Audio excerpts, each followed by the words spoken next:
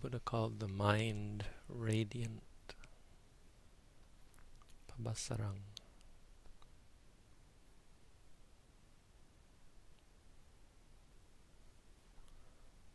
And to be clear, he wasn't implying that the mind had substance or luminosity. If you went in the in a dark room with the mind, it would light up the room. It was a figure of speech that's that has been misinterpreted. But he simply meant that the mind is pure. Pure like like a radiant gem.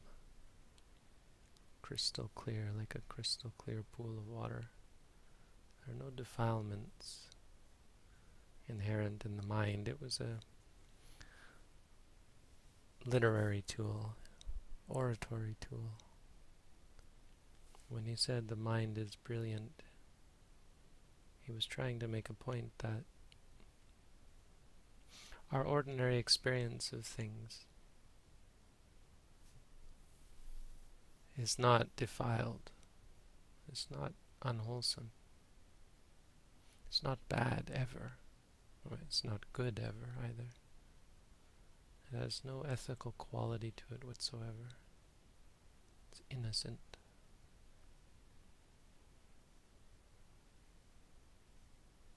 no matter what we see or hear or smell or taste or feel or think. Even our thoughts are innocent, which is an important point because quite often we feel guilty for having certain thoughts, for imagining certain situations. But our thoughts and our imaginations are not entirely caused by our inclinations.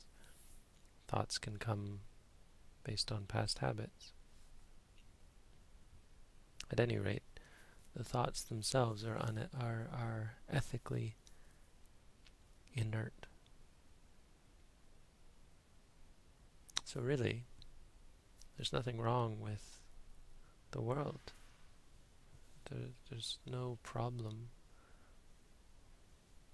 in the world, in our world, in our lives, except for three very small, tiny details. There are only three things that are wrong with the world, wrong with our world, wrong with our minds. These are called the akusala mula, the roots of unwholesomeness. Mula means root. By root is meant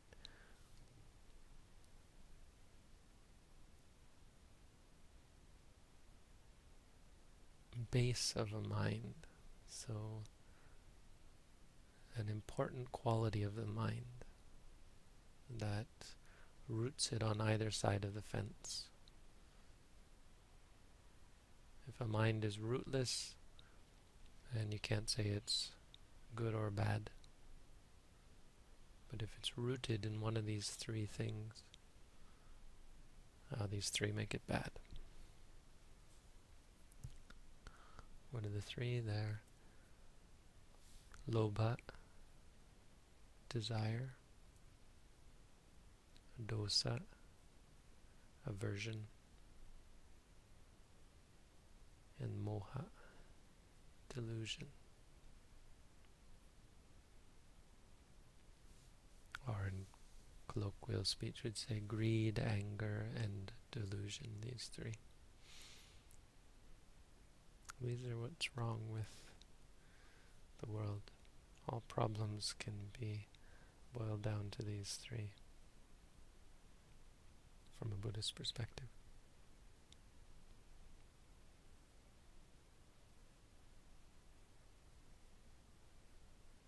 It's not easy to see this. It's quite likely to be contested not a very appealing teaching when we think of all that's wrong with the world. We want to say there are so many other things wrong with this world. How can you trivialize the evil of the world? Ignore all that's wrong with this world.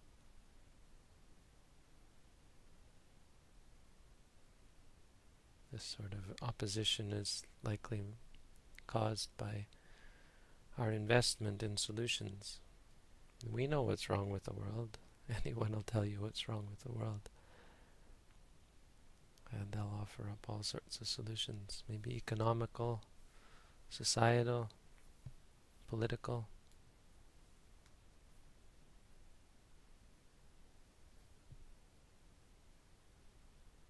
And none of these are actually getting at the root of the problem.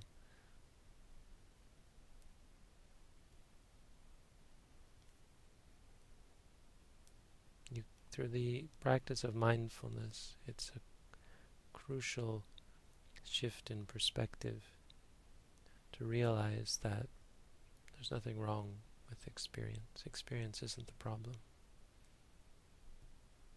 It is what it is. It's not worth clinging to.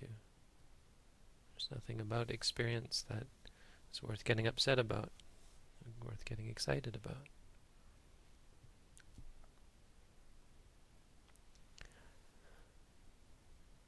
The cause of suffering is not our experiences, it's our relationship to them with greed, anger, and delusion. So, greed. Greed is our desire, liking, and wanting. And there's no question, there's no, there should be no argument as to whether greed can be a problem. Obviously, greed leads to addiction, it leads to rapaciousness, it leads to manipulation, it leads to ruin for those who become gamblers.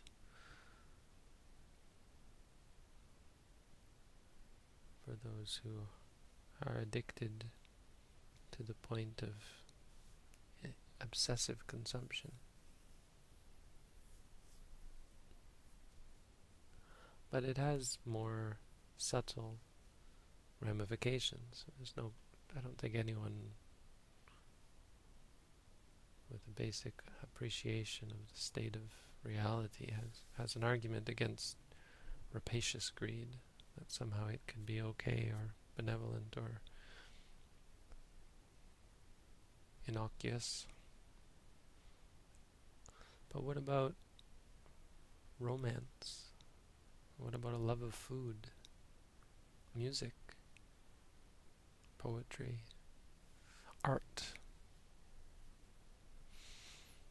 What about a love of friendship, a love of family? What about these likings?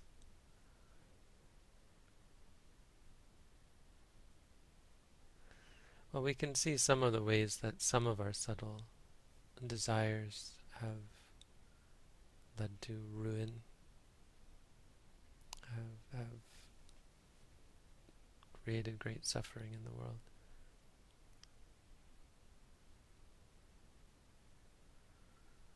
For example, the, the climate the environment. We're seeing the the results of seemingly innocuous greed.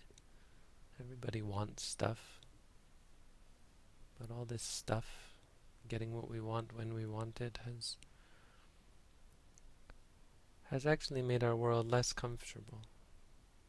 Has made the planet a less comfortable place to live. It's, we've polluted our own air, water.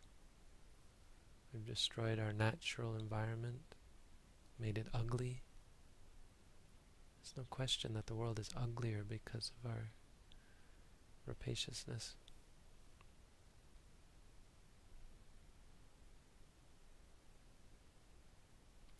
There's no question that Greed has an effect on health. Our love of good food makes us fat, makes us unhealthy, leads to diabetes, heart disease, cancer even. But it goes even deeper than that. We're not as happy as we think we are. Take love of uh, family, for example. We'll put romance, we'll just skip romance because it's a little easier to see how disturbing that can be. If you've ever been at the end of a, the receiving end of a breakup, you know how much stress and suffering is involved there. This intense anguish, not being able to get what you want, to put it very simply. But family, take family. Seems like a good thing, no? You should love your family. What's wrong with that? It's one of the least threatening forms of desire, of, of liking, of attachment, let's say. Seems pretty innocent and, and even wholesome.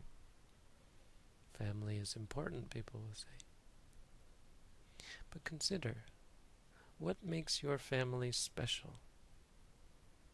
What makes your family worth your attachment more than somebody else's family?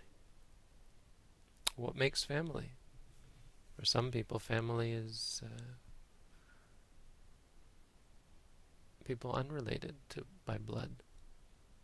And they call those people family. Friends become so close you call them family.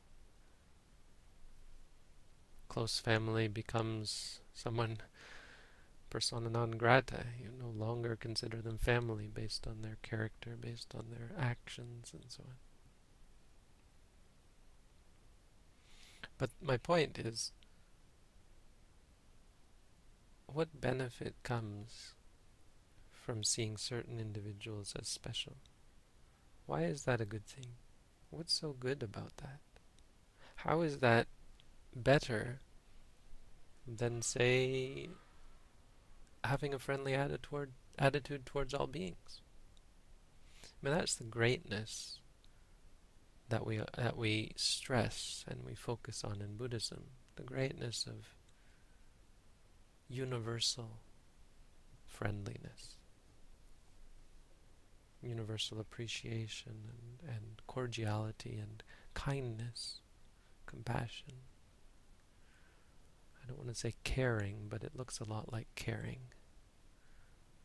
Kindness is a little more innocuous, a little more proper.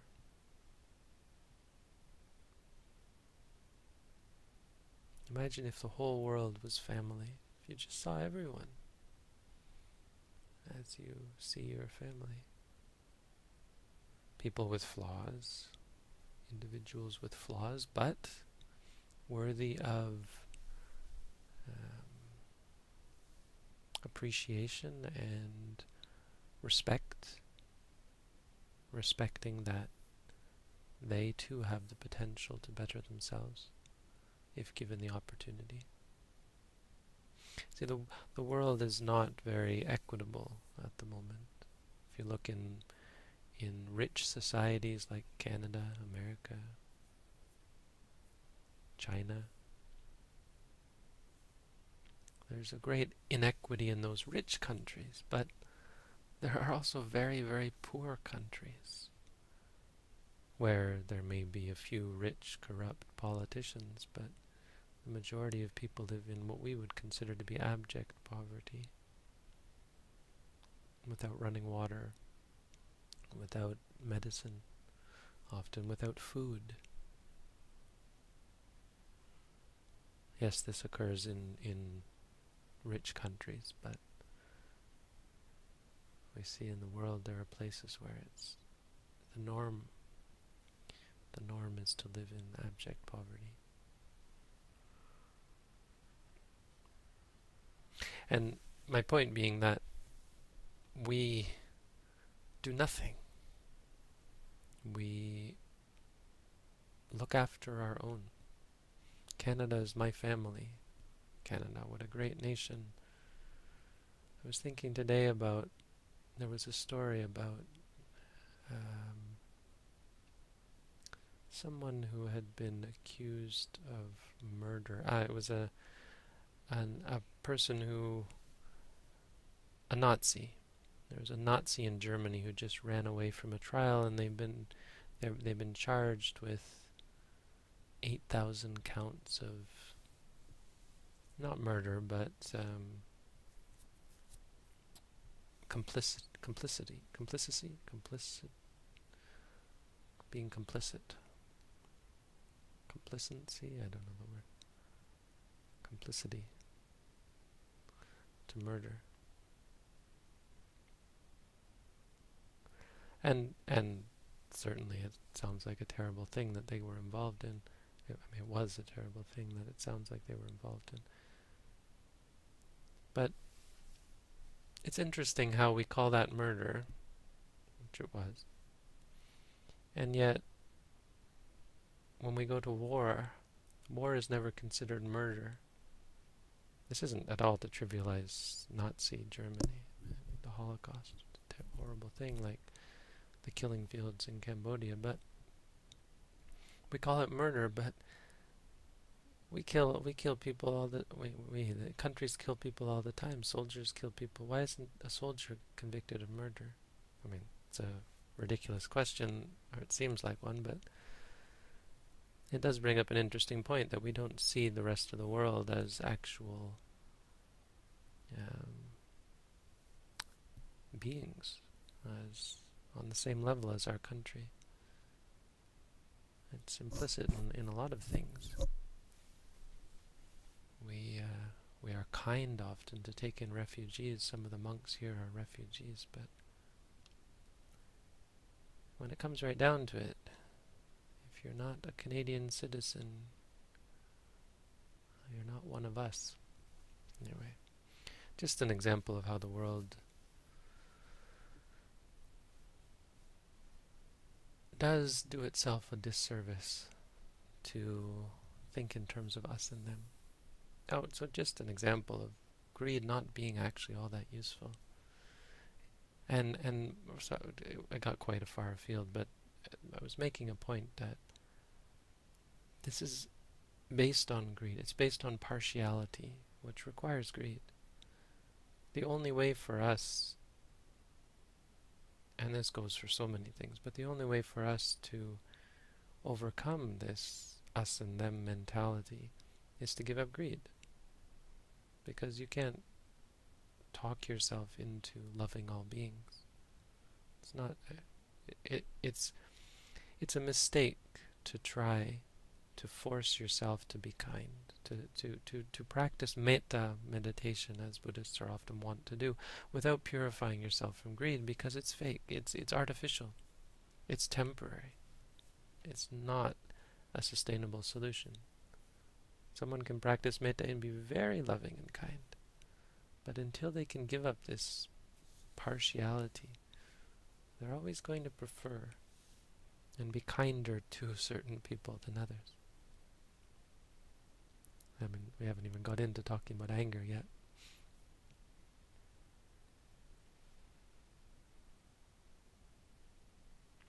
But giving up greed is is incredibly powerful. It's just one example of it. If we gave up greed, the environment would benefit. If we gave up greed, our political system, what would it look like if politicians were not so corrupt and greedy? What would it look like if we weren't so greedy when we voted and were more thoughtful and, and conscientious? Uh, what would our economic system look like if we were not so greedy? But most importantly, what would our mind be like? Imagine no preference. Imagine being able to experience your life, your reality, without judgment, without partiality.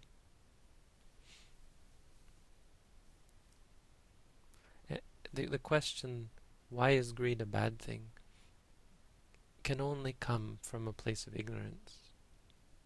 if you are wondering why is what is wrong with greed and you just can't see it, I tell you it's because the mind is unclear. There's no there's no I, there's no no explanation I can give you to explain to you why greed not not on the same level of asking you to spend time present with your experiences, seeing them as they are, to cleanse your mind, to clear up this fog of delusion and, and, and anger and greed, to the point where you see how much stress it's causing, how it really limits you as a being.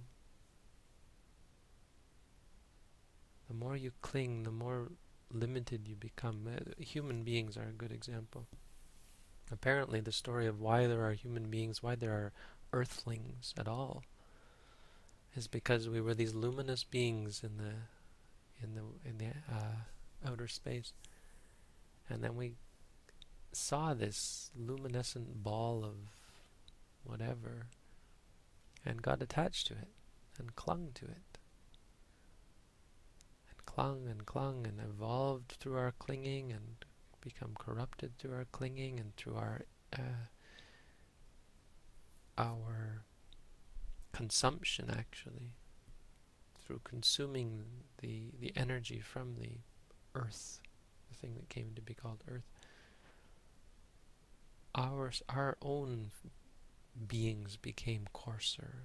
The earth became coarser and coarser. And, and here we are here we are and that's why we're stuck to this rock so the short version of the story of why we're stuck to this rock.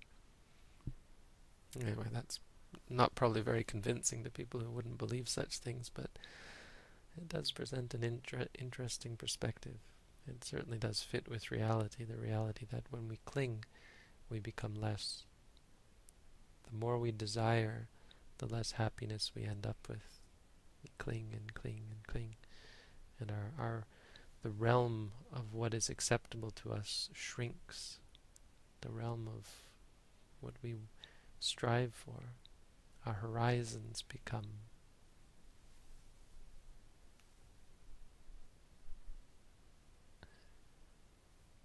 become smaller.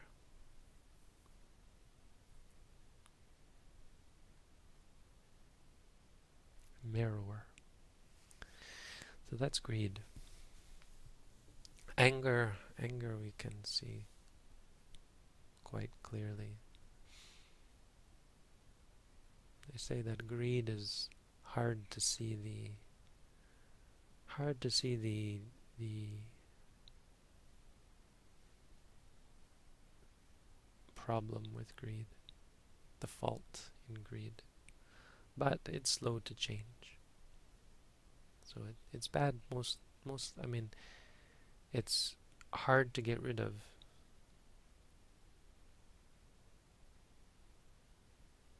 As it's slow to change.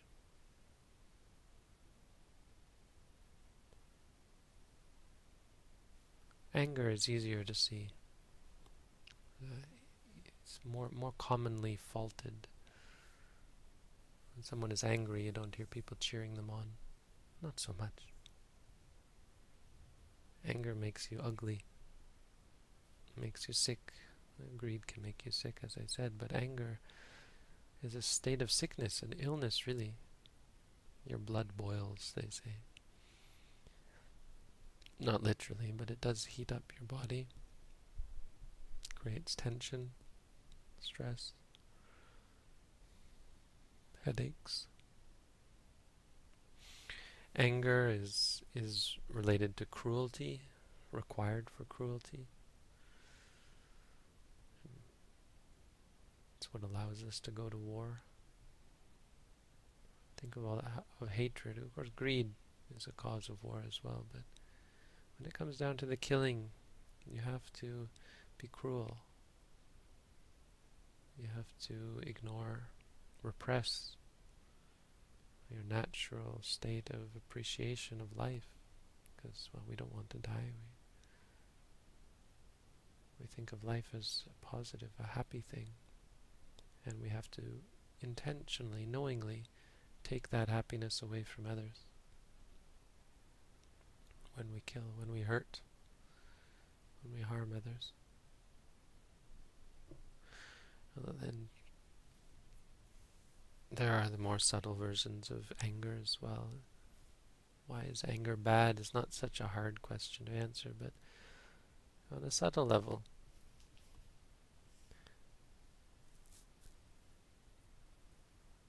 our anger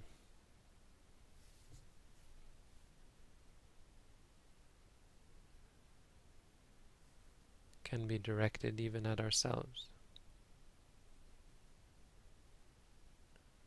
We have self-hatred, but ultimately it's simply the hatred of our experiences.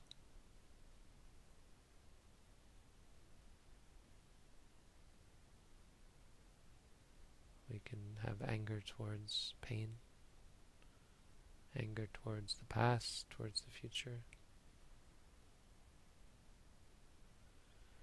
Anger is easier to see the problem in, but still gets hidden with things like pain, uh, even boredom, frustration, and any time it becomes self-righteous. You make me so angry. What's the problem? You, right? And this, what's the problem here? You make me so angry. What's the problem? You are the problem. Totally overlook the fact that you're angry. That, oh yeah, wait. If I weren't angry, there would be no problem. But you deserve it. I don't deserve that. How could you? How dare you?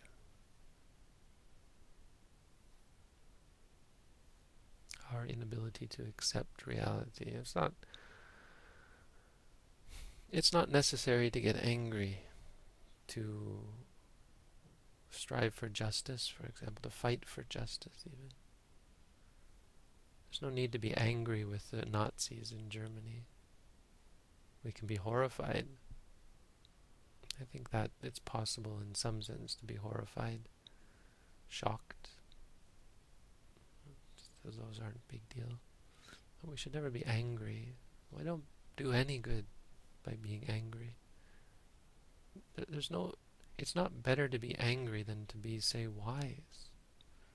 I mean, wisdom's not going to say, oh, it's okay, you killed all those people, no problem. Wisdom is going to say, that was a very bad thing you did, just the same as anger, with or without anger. You don't need the anger to understand that, that it was a horrible thing that the Nazis did in Germany, or the Khmer Rouge did in Cambodia, or any other of the many atrocities that what what was done to the First Nations people in Canada at the residential schools. Today, I think, or if it's tomorrow, I'm not sure, is the truth day of truth and reconciliation in Canada. Horrible things were done, uh, not just out of anger, but anger is required to be so cruel.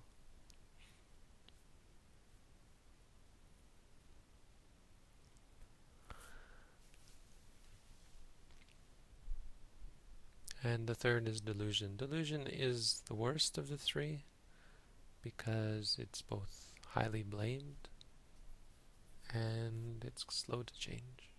Anger is quick to change, I didn't mention it. Highly blamed, quick to change.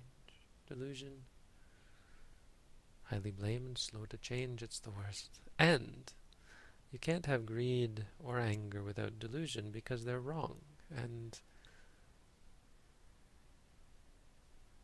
the only way they can arise is if you don't know that they're wrong, if you aren't clear in your mind that they're wrong. When they, when they have an opportunity to arise, there has to be, at that moment, some sort of delusion. With a clear mind, they would never arise, and that's, of course, the great power of mindfulness, of vipassana, seeing clearly. And it's something that we have to remind meditators over and over again. We're not trying to fix our problems. We're trying to see them clearly. It seems a bit disingenuous because, of course, we're trying to fix our problems. In some sense. We're trying to fix something anyway. Trying to fix something, but the, the, the way of fixing turns out to be very different from what we, we think. Our idea of fixing is doing something to fix. When the real fix is the change in perspective, the clarity. That the true fix is freedom from delusion. So let's go through it. What are some of the big delusions out there in the world? Racism, bigotry, xenophobia, uh, religion. Religion is a huge delusion. Think of, of Israel, the situation in the Middle East. The um, there's this place, Jerusalem, that they've been fighting over for thousands of years. I mean, they've at least been fighting over for decades now. But all the whole fight is over some ridiculous notion that has, it's unfathomable how much delusion is involved there. There's of course greed and anger, of course. Anger, bitterness, us and them, the enemy, the dehumanization of other humans, other beings. but so much delusion involved. Those are the big ones. We can see those. Arrogance, on a personal level, arrogance. Who likes an arrogant person? Conceit, self righteousness, people who are preachy. Buddhists can be very preachy sometimes.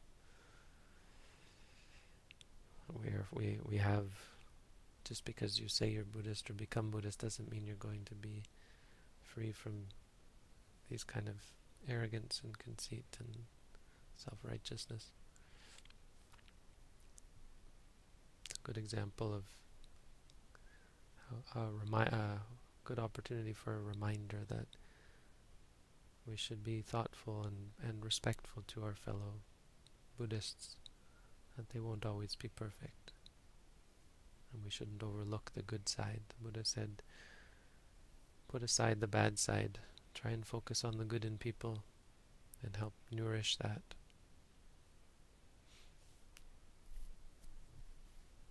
But on a personal level, we can see this in other people, we can see it in ourselves, especially when we start to practice meditation. It's ugly. Conceit, arrogance. But the worst, or the, the most ultimate form of delusion is quite simple. It's just ignorance. Avijja Paccaya Sankhara. All of our inclinations, good or bad, come from ignorance. There's nothing we need to do besides clearing this up. We spend all our time in meditation doing something very simple, and it's so easy to misunderstand, to overlook it. So hard to really get what we're doing because not because it's something deep or abstruse or complicated, because it's so simple. You miss it. When you're walking, what are you trying to do? You're trying to know that your foot is raising. But what else? What's behind that? What's the point of that? Honestly, the point is to give up asking what is the point.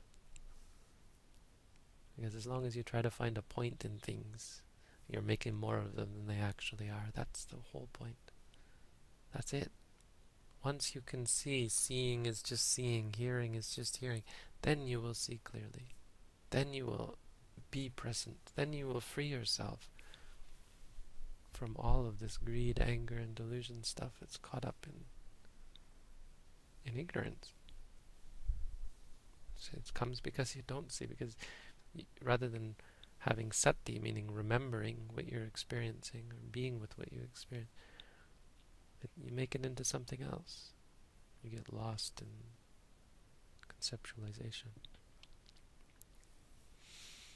So, as I've said before, reality is quite simple.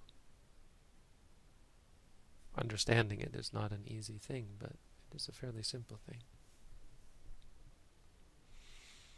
And there's not much in the world is a problem if we can focus on these three things and appreciate them. And most importantly, try to see our experiences clearly as they are, freeing ourselves from ignorance. The whole chain of causation leading us to sorrow, sadness, lamentation, despair, suffering. That whole chain of causality is broken. And experience is just experience. So that's the Dhamma for tonight.